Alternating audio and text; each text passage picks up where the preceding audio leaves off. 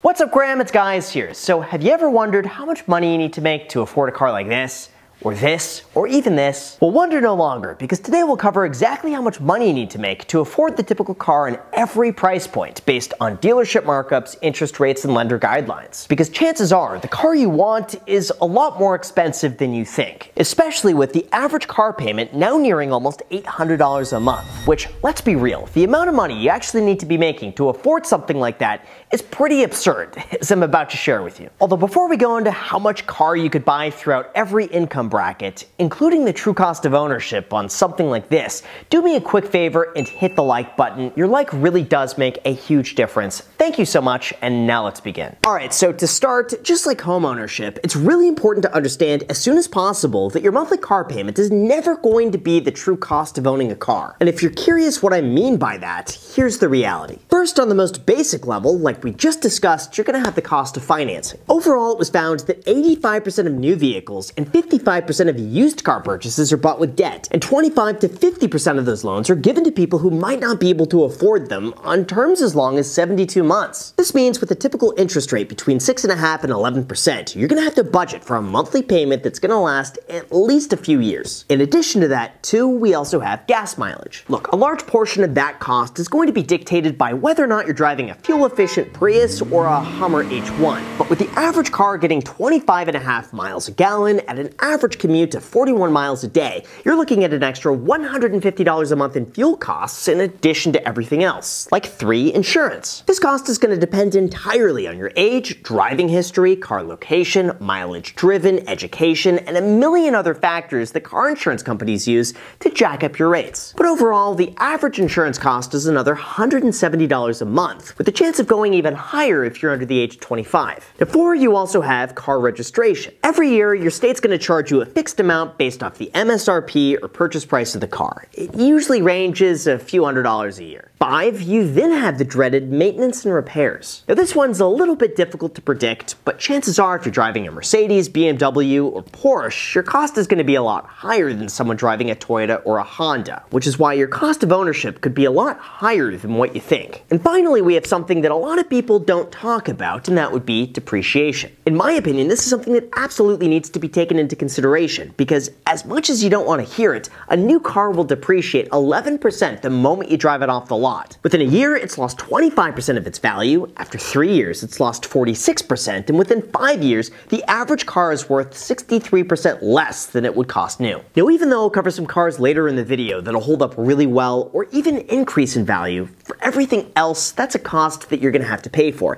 Which brings me, of course, to what's called the 23-8 rule. In terms of how much car you could afford based on your salary, this method goes out to the money guys who suggests that first, you should put 20% down. This means that you'll pay 20% of the car's value up front so that you could lower the amount that you'll need to finance. And this does two things. One, it means you'll pay less interest over the lifetime of the loan, with usually better terms because you're putting more money down. And two, it decreases the chances that you'll be upside down on the loan the moment you drive it off the lot. The second, you should also pay off the car in three years or 36 months. The goal is that a short-term loan usually carries less interest, more of your payment goes towards paying down the loan, and within three years, you're gonna own the car outright, allowing you more money left over for other opportunities like saving and investing. This also works by discouraging people from taking on the typical 72 month loan on a car they'll only keep an average of 79 months, meaning as soon as they paid off the car, they basically just go and buy a brand new car and start the process over again, which is bad. Don't do that. And finally, third, you should spend no more than 8% of your pre-tax income on transportation costs. This means if you make $50,000 a year, your total transportation costs should not exceed $4,000 a year, or $333 a month. This is meant to keep your transportation costs as low as possible since cars are a depreciating asset. And by keeping it within this structure, you'll minimize the chances of spending more than you need to on something that's not going to give you long-term financial freedom. As an example of what you could buy with this method, let's take the typical person making $45,000 a year. This means that you would be able to afford a car worth about $8,000 because with $1,600 down, your monthly payment will come in to just under $200 a month and leave you with $100 a month month left over for everything else, like gasoline, insurance, and maintenance. Or if you have an income of $75,000 a year, you'd be able to comfortably spend about $500 a month in transportation, which works out to a $16,000 car like this with $3,200 down, with all the other remaining money going to the cost of running the car. At an income of $125,000 a year, you'd be able to comfortably afford a car in the $26,000 bracket, and at $200,000 a year, you could pay for a $40,000 car, again assuming 20% down and a three-year loan. Now obviously, these numbers are meant for people who prioritize paying down the loan as soon as possible, living below their means, and ensuring they have as much money left over as possible to save and invest. However, I also understand that waiting until you make $200,000 a year to buy a $40,000 car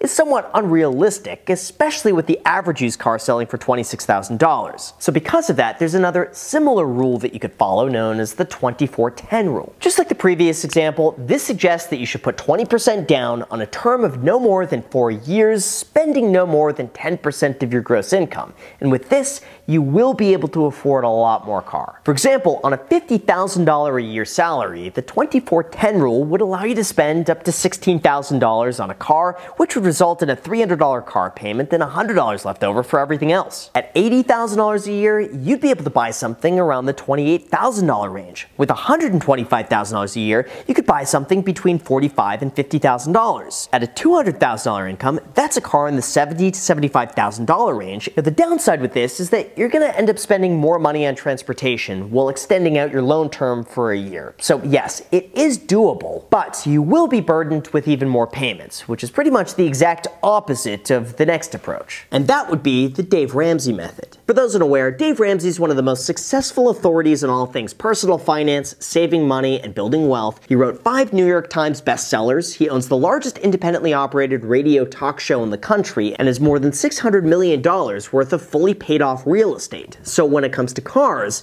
he has a few choice words to say. In a perfect world, he says the car that you could afford is the car that you could buy outright in cash. That's right, no loan, no payment, no nothing. Just buy a car that you can afford and then drive it until it doesn't work anymore. His thinking is that the monthly cost of car ownership is very distracting towards other more rewarding opportunities. Cars are almost always a bad investment financially. And if your entire objective is just to get from point A to point B, it doesn't really matter what kind of car you drive as long as it gets you there safely without breaking the bank. In addition to that, he also practices the belief that the cost of your car should never exceed half of your take-home salary salary. So if you make $50,000 a year, your total car's value should not exceed $25,000. If you make $100,000 a year, that's $50,000, and so on. He also found that throughout a survey of more than 10,000 millionaires, the average millionaire drives a four-year-old car with 41,000 miles on it. And 8 out of 10 millionaire car buyers drive it away debt-free without carrying a car payment behind them. And that all just helps them be the millionaire that they are today. Separate from that, another rule that I really enjoy comes from the financial blogger, The Financial Samurai, who recommends that you should spend no more than 10% of your gross income on a car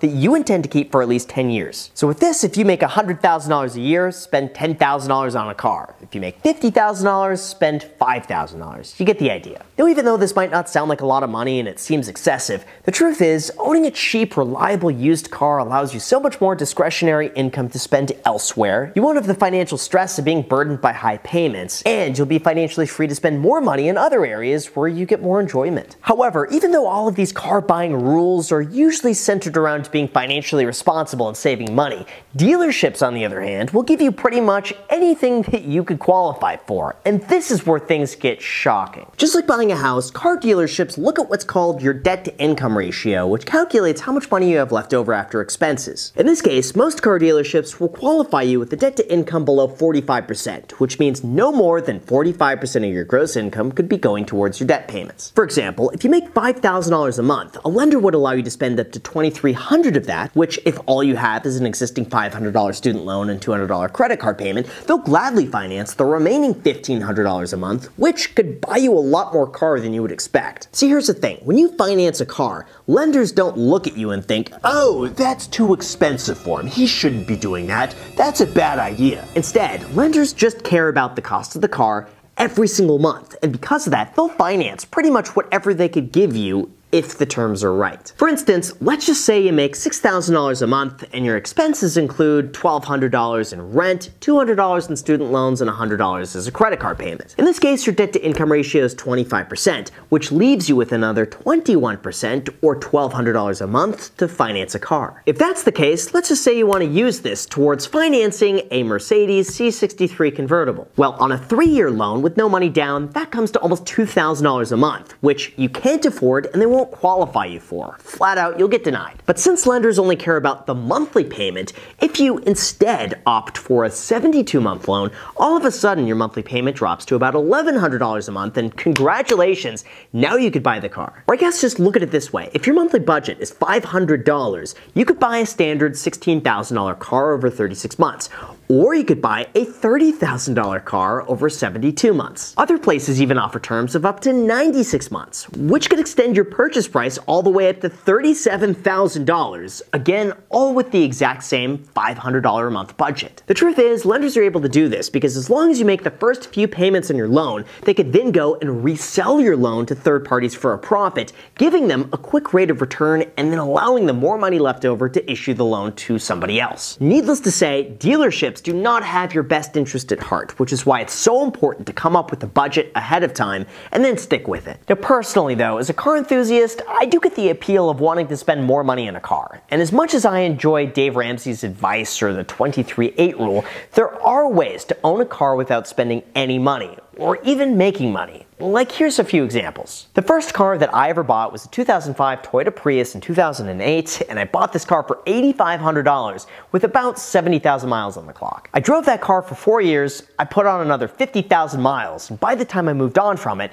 it was worth about $5,500, which meant that I only lost about $62 a month in depreciation, which isn't bad. At the same time, I also bought a 2006 Lotus Elise for $30,000. I drove it for two years, and then I sold it for $30,000. I then bought a 2008 Lotus Exige S240 for $50,000, and then I drove it for two years and sold it for $50,000. There's also my 2005 Ford GT, which is worth about 25% more than what I paid for it, or my Tesla Model 3, which is still worth more than what I paid in 2019 after rebates. Generally, the cars that I buy and drive barely lose any value, or they actually end up making money, because I'm a car fanatic, and anything that I drive, I just want to make sure it's not going to plummet in value. Now, in terms of which cars could work for something like this, in my personal opinion, I tend to believe that might include something like the Honda S2000, an older Mazda Miata, mid-2000s Corvettes, mid-2000s BMW M3s, early 2000s Porsche Boxsters,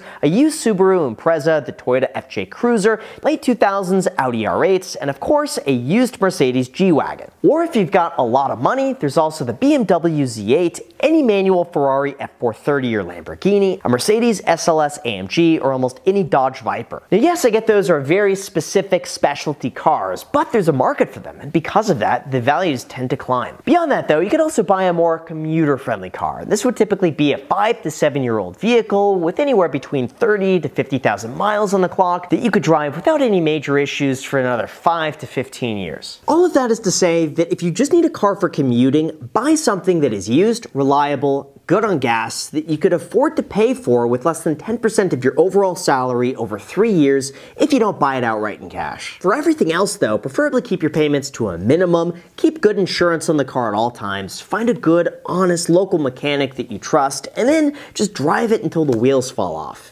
figuratively speaking. When it comes to transportation, most of the time cars are just a money pit that detract from things that really matter the most, like subscribing if you haven't done that already. No, seriously, if you find this video helpful, please subscribe. It would make my day, and if you do that, you'll see more videos just like this. Anyway, I hope this helps. If you have any specific questions, I'll do my best to respond to as many comments as I can down below. Thank you so much for watching. Also, feel free to add me on both Snapchat and Instagram. And also, if you guys want free stocks, I do have a paid affiliate link down below in the description if you guys are interested. Those free stocks could be worth all the way up to a few thousand dollars when you make a deposit. More information is down below. Thank you so much for watching, and until next time.